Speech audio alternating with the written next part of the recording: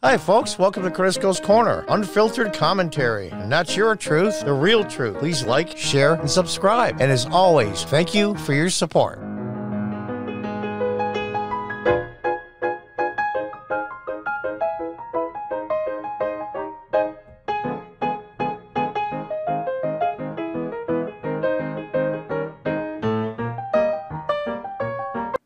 Hi, folks. Welcome back to Cordisco's Corner. I never do this. In fact, I've never done this. I've uh, found this channel on YouTube. If you see right here, is Hoag H O A G.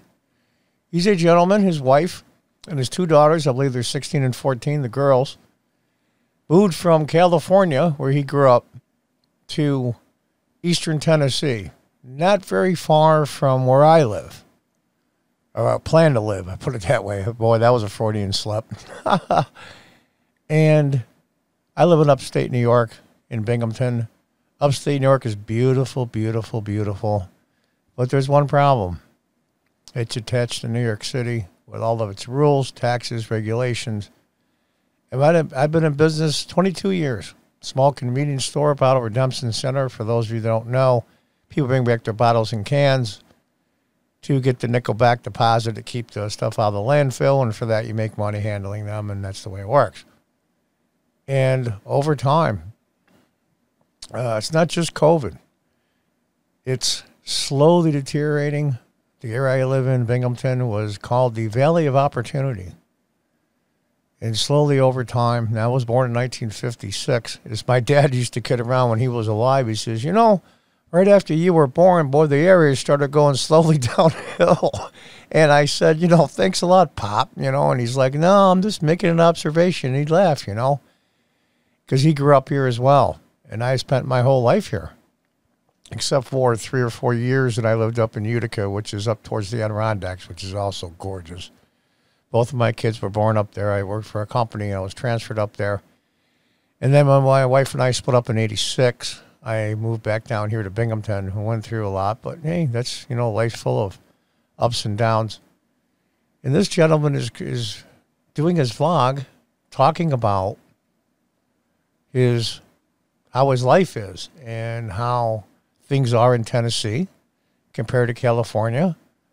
And, you know, sometimes he's critical, sometimes he's not. I really like this guy a lot. His name is Matt, and I believe he pronounced his last name Hoag. H O A G. You see there? I encourage everybody to watch this guy's channel. And he went on a little bit of a rant here in this video. I no, I watched this gentleman's channel before. And when I watch this video, and I'm not going to play it all, I'm going to play bits and pieces of it. This guy's got it down. This guy knows what's going on. He knows what's going on that's not good. And I tell you, I'm extremely jealous of him. Well, of course, I'm 30 years older than him, probably, so that's part of it. But even still, it's about being free. It's about living your life. It's about your life having some meaning. And here in New York, he's from Southern California, which is 10 times worse than where I'm at. And this is long before COVID. This has nothing to do with COVID 19. That's just piled on to the, to the pile uh, what they call that in the old days, the penalty piling on in football. It's just piling on. And I've recently sold my business. I'm right in the process of cleaning it out. I've been here over 20 years, boy. So the stuff you accumulate, boy, it, it's really tough throwing stuff out, but you got to do it. You got to move on. Um, nothing ever stays the same, everything changes. And this gentleman made a huge, huge change in his life. Took his two teenage girls, I believe they were 12 and 14 at the time, and moved to Eastern Tennessee. His wife's a personal trainer, and he does videos. I think he does videos like wedding videos and special occasion videos. He has some drone footage and some music. This guy knows how to do videos, I'll tell you. He's got a really, really cool intro it's awesome, absolutely awesome. So you can tell this guy knows what the hell he's doing video wise. And he, like I said, he lives with his wife and his two daughters. They're on occasionally. His wife is Mackenzie. They call her Babs. And uh, she's really cool too. And they're all from Southern California. And he brought his kids, right? And they're just the early teens. That's a very formidable year. I mean, just uprooted them from their friends and their family and moved out here. Uh, I've been to Central Tennessee and Crossville, where I think I might end up. And it, when it comes down to one thing meaning in your life, being free to do the things you feel fulfillment in without everybody standing all over you. This rule for that, this rule for that, this rule for that. There's a couple episodes where he goes back to California, and of course, they're not used to wearing the mask now in Tennessee. They do wear them, but it's not nearly as restrictive. And he lives by Maryville, Tennessee, and he goes through all the seasons. You know, they have winter there, unlike what people think. It shows him snowboarding with his family, and you can tell that his quality of life has dramatically improved. Now, he doesn't go on a lot of detail what his life was like in California. Now, I'm sure Matt wouldn't mind if I played a small snippet here. He drops his daughter off at a soccer game. Now, if you see from the date, this is March 6th. This is this month. Like I said, I watched this gentleman's channel, but something about this episode really, really, really spoke to me. And like I said, I'm right in the middle of cleaning out my business. It got sold. The building I uh, have the business in got sold. So I'm ready to move on. Now I'm 64. And he says, Well, you know, you're a little too old to move on. No, you are never, ever too old to start over. And I've started over five, six, seven times. and it's tough. But life is like that. It has to be done. I have no idea what the future holds, just like this gentleman didn't know. He has a couple, three businesses he does in videography. His wife's a personal trainer, like I said. And I admire this guy a lot. Matt, you are my new hero. I'm telling you. And he's, and, I, and I think when I say this, it's not a shot. I think he would agree. He's nobody special. He's just an everyday American that gives a damn about the country, gives a damn about his family, that gives a damn about the community he lives in. And there's much more community here, and he goes on and on. I encourage everyone to watch the Hoag vlogs, they call them. Let me play a little small snippet here. See if I can do so it without being too loud. When we stop letting it. Now my my laptop's a little crappy, so it's going to come in. So I, I had a post I hopefully it'll play what's, better. What's really interesting and, and oh, see, I got a yeah. That's too bad. I'll probably edit this part out, but it's um this poor laptop is working hard, so let's see how this goes. Maybe I'll drop it down uh, to 480. How they've all of a sudden put. So well, the video's not going to play that well. Um, I got a really crappy laptop, so, and I've got the the webcam running. Plus, I have Camtasia Studio Recorder. But I'm telling you, this guy figured it out, and he's now vlogging and recording and putting on for posterity, so to speak, his experience and moving from California to Tennessee I encourage everybody to go to this gentleman's channel, especially if you're someone that is not happy. Look how beautiful Tennessee is. I was there about a year and a half ago. My uncle moved there, my mother's brother years ago, but it is an amazing place. And as you can see, he has all different kinds of videos. How he heads back in California here. He had to do some family business with his wife's grandmother's house and hiking and just talking. You know, if you're offended by the opinions, and then he puts well, this one here, a welcome to the new blog, where he put he puts a little spoof on at the beginning where everything's all unicorns and lollipops, and he skips around. It's really, really freaking comical, and it's sarcastic, and it should be. It's meant to be sarcastic, and he's trying to prove a point. Uh, if you're offended by the opinions of our content, change the channel. Absolutely. And this this guy's got it. And from growing up in Southern California, I'm really, really impressed that one, you know, a guy in his position would have the uh, the nerve and the guts, and as the uh, my Spanish friend says, the, the huevos to to move to Tennessee. It might as well be on the other side of Mars. And he said in one of the videos the other day, his daughter said her life is a lot better. And being a teenage girl is a really tough time. It's a great time and it's a, it's a, it's a tough time at the same time. And I think this guy has it marked down perfectly. We are giving up our rights. We are giving up our, our, our meaning in life for what? For money? I mean, I like money like the next guy. I was in business 22 years and I struggled the whole time. Hey, believe me, would I like to have a lot more money than I have now? You betcha. You know, money isn't everything, but it's not nothing either. But this guy's a little luckier than, than me in a way. He's got a great wife, two great kids, and I wish him the best. But I think people that think like me and like Matt here and his family, they get it. And this is before COVID, so there's nothing to do with COVID. This just reinforced what he believed in already. And Tennessee's a great place. If you want to live the freest, I think, maybe not the freest state, but one of the freest states in the United States. People are different. You get a lot of, hey, you know, I got to start, if I move down there or visit a little while, I'll have to get, a, get used to my, hey, you know, and it's the people, and they're not perfect. Don't get me wrong. Nobody's perfect anywhere. But just go up and talk to a total stranger, they'll just talk your ear off. Hey, how you doing? Yeah, pretty good. You get that a little bit here in upstate, but not that much people have been ground into dust, so to speak, in submission over time with the exorbitant taxes and, and, the, and the economy just taking a crap.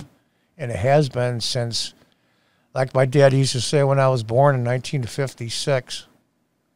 And I think this guy has figured it out.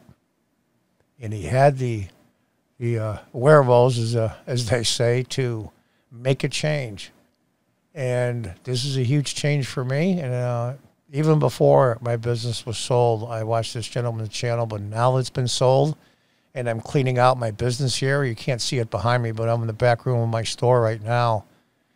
And in the future, I'll be doing my videos from my house. It's just easier here at the business. But I'm telling you, this guy's got it figured out.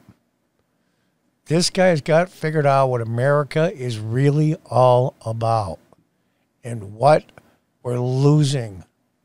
What we're losing in the America that the founders set up. And he sees we're losing it. And he's he's not happy, and neither am I. And he's just he's like me. This PC nonsense is just for the effing birds. Live your life, live your life free. And even more importantly, have some meaning in your life. I don't know what the future holds. I really don't. Uh, my mother's still here in the area. That's the main reason why I'm still here uh, after my business is sold. We'll have to see what happens, but that's the scary part, and that's the exciting part at the same time. You don't know what's next. And you have an idea in your mind that you're going to put more meaning in your life. For those of you with families like Matt here, more meaning in their lives and positive meaning and just live life and have fun. I know work hard too, but have fun. And I think a lot of us, including myself, I might add, have forgotten how to have fun. And it's sad. And I've lived 30 more years probably than Matt has. And he figured it out. I've still yet to figure it out, but I've made the first step. Don't be afraid. Don't be afraid to move. Don't be afraid to move from a place that's just just not working. It hasn't worked for a long time. Get the balls and the guts to say, you know what? Enough is enough. You're only allotted so much time on this earth. You're going to waste another 10 years of it? I maybe have 15, 20 years left. Do I want to waste half of that or more trying to figure out how to make it in an area where it's almost impossible to make it? It isn't just about money, it's about community. It just isn't one anymore. Give you an idea. I have a chess club in the back of my store for free. Beautiful area, had chess stuff all over the walls. I've taken it all down because I'm moving. Tables up brand new sets and boards. I have an older gentleman that would teach chess to anybody for free. He's a rated master. I, it's a, you know he's he's he's currently an expert, but he was used to be a rated master. An expert is more than strong enough. Teach everybody for free. Just guys come here and play, even before COVID. And what I got on Saturday afternoons from twelve to five. Beautiful, got a lot of parking here, convenient location, and I got this. Crickets. How, how, how is it possible that you've got to spend? I don't mind spending the money on the equipment and stuff and the tables and, and all the stuff on the walls about chess to make it look like a nice chess area. That was my choice because I love the game and I love to hang around people that love the game. But to beg somebody to come in and do something they love and then they don't do it after you beg them for over 10 years and do everything in your power to make it easier for them, there's something wrong with the area. There's something wrong with the mindset and the mentality. And I think because of second, third generation now, we've been ground into dust. So let's listen what Matt has to say. And he's just a guy just shooting the breeze.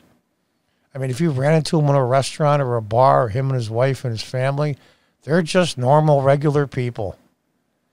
But they want to live free and happier, have some meaning in their life. I strongly encourage everyone to go to Matt's channel here. I get absolutely nothing out of it. In fact, he has no idea that I'm even doing this. I hope he doesn't mind. But I'm telling you, this guy's got it figured out. Now, does he have everything in life figured out? Of course not. Nobody does. And you play life as it goes along. Don't try to plan out so everything's so tiny, minute, because you'll never get it done. Pack up your stuff, quit your job, especially if you don't own any property. It's easier to leave. Take two or three months to save as much money as you can maybe put some feelers now on the internet and get an idea of the jobs are like in that area you want to go to. He happens to pick Eastern Tennessee. Um, I'm I'm going to probably be maybe less than an hour from where he's at, and it's a wonderful place. The people are just way different, way different, and because they've lived life a little bit better, and it's had a lot more meaning to them. So if you're not happy from where you're at, do what Americans have always done. Go where the opportunity is and go where your life will have some meaning. I mean, look at all the immigrants. We were a country of immigrants. Millions came here. Just picked up from Europe and other places they came from and left everything they had to come to a country where most of them didn't even speak the language. But they did it because America was a place that you could find your way, raise your family, be free, and your life had some meaning. This gentleman's way on his well on his way to fulfilling that. And I tip my hat, so to speak, to Matt. I watch his videos all the time. In fact, I've watched several over. And like I said, he's just a regular guy with a wife and two kids. And he figured it out. America is a place where if you're not happy from where you're at, you just get up and go somewhere else. Don't be afraid. Just do it. That's the old what Nike saying, just do it. You know, I'm not a big fan of Nike, but the saying still fits. Just do it. Do it before your clock runs down on you. I'm 64 and I'm going to do it. It's just a matter of when in the next two or three years, maybe sooner. We'll have to see. But I know I need to go and it's sad and it's tragic. But you're the only one responsible for meaning in your life. You're the only one that's responsible for your happiness. Don't let the clock run out on you. Find some meaning. Go where you need to go. Leave the area like he left Southern California and I leave New York State. And go be happier and freer. And I hope everybody watches his channel. He says a lot without being preachy. He's an amazing guy. And I take my head off to him, his wife, for having the nerve to do this to help out themselves, and more importantly, their two children, whose lives will be dramatically improved from Southern California, and they grow up to be a lot happier, and so will his grandchildren. I have no doubt. So this is the one thing I've never done yet is promote somebody's channel. But folks, listen to this gentleman. He knows it, what he's doing, and he's figured it out and he's living his best life he can. Until next time, folks, goodbye and good luck.